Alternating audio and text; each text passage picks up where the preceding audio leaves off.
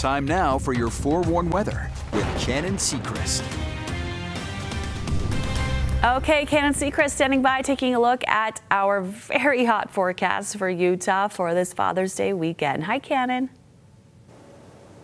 Yeah, the weather down here in southern Utah, although the, the sun has uh, disappeared, we are still seeing some pretty warm temperatures down here at the Black Desert Sky Cam. We've got the night vision mode on right now. We see some cars kind of coming across, some bugs flying around as well out there. Just a nice, uh, nice night here out on the Black Desert Golf Course. Utah Lake also looking very nice. We took a look at the camera a little bit earlier.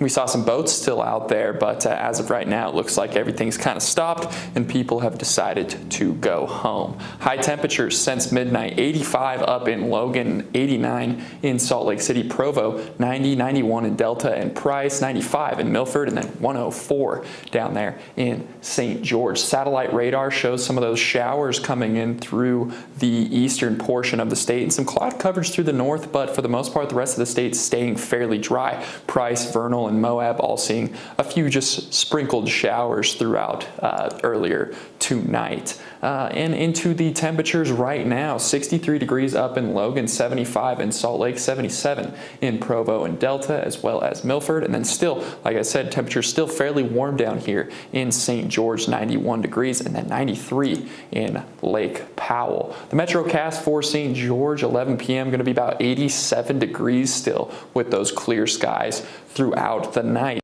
4 a.m. 76 degrees. Temperatures do drop off just a little bit, sticking with those clear skies, however. And then tomorrow, 9 a.m., those temperatures start to kick back up, about 80 degrees with those clear skies. And then those temperatures are going to be rising even more as the day moves on. We also have some fire alerts going on right now with that red flag warning kind of sweeping through southern and central Utah. Those are going to be in, in effect and, and at the beginning of tomorrow, right around noon, and they're going to stay in effect until Monday. Those winds going to be coming in at 15 to 25 mile per hour, gusts up to 35 to 45 miles per hour, and that can really spark, when those flames start to spark, those winds can really carry those fires away.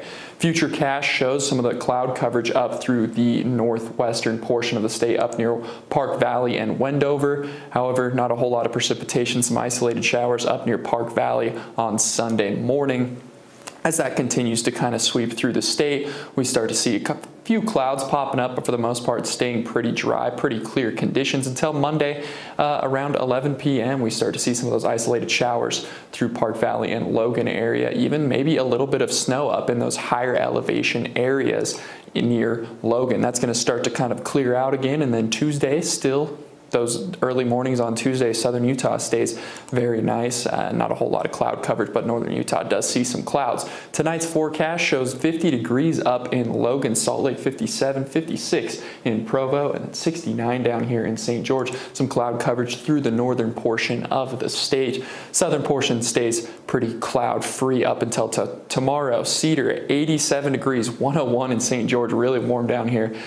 Lake Powell 96 and then Salt Lake 82, 87 in Provo, 78 in Logan. So the temperatures have cooled off just a little bit up there in the northern portion. For Father's Day weekend, Logan's going to be feeling really nice there if you're going to be grilling outside. It's going to be a great day to, to man that grill. 78 degrees, 76 in Park City and then St. George. If you're out there, uh, put some sunscreen on, find some shade because it is a little bit warmer down there. Wasatch Front Temperatures do drop off a little bit into next week, but then they pick right back up, back up into those mid 90s. And then St. George, we have triple digits throughout most of the next seven days. Our low is going to be about 94, but our high is going to be about 107 to 108 come Friday and Saturday.